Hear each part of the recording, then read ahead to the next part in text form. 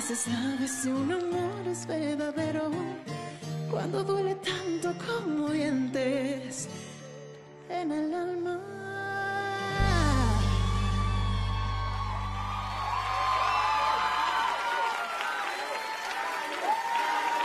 Tengo a dos